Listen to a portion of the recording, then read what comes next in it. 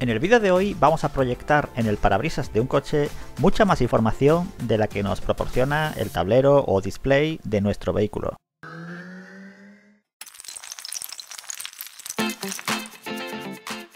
Para extraer toda esta información como temperatura exacta del refrigerante del motor, compresión del turbo, en el caso que tenga turbo, y otra mucha información, necesitamos un adaptador OBD2 como este que estamos viendo que es de los más baratos del mercado, del que ya hice un vídeo hace tiempo sobre cómo borrar los fallos almacenados en la centralita del vehículo.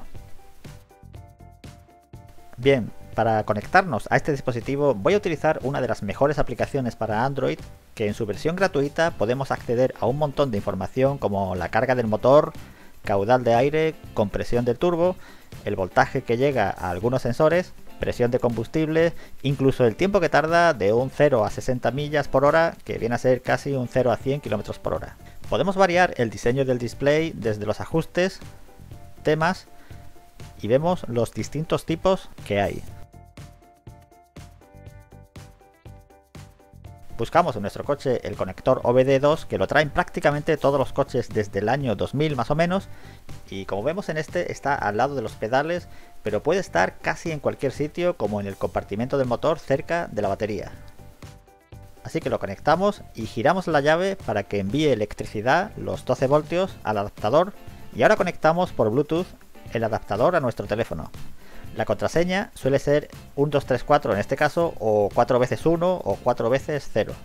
Y ya solo nos queda añadir el tipo de display, si es en forma de esfera o cuadrado, tú eliges la forma que quieras y la información a la que quieres acceder.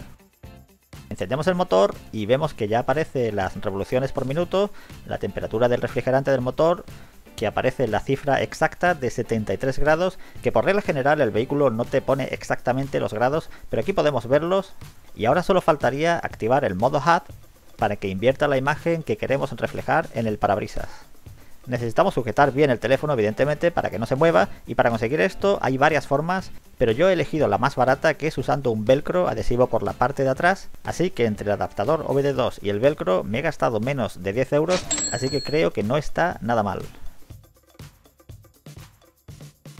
Evidentemente se verá mejor por la noche o en días muy nublados a no ser que la pantalla del teléfono tenga una iluminación súper potente, en ese caso quizás podríamos usarlo por el día, aunque yo no he podido con los teléfonos que he probado.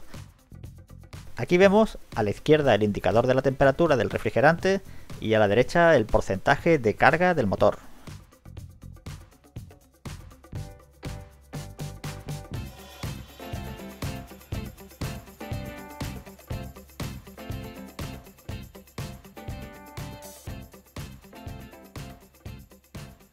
Recomiendo usar un teléfono viejo que no sea el que usamos habitualmente, pues si recibimos algún mensaje por WhatsApp o llamada de teléfono, vamos a perder atención a la carretera y eso es muy peligroso.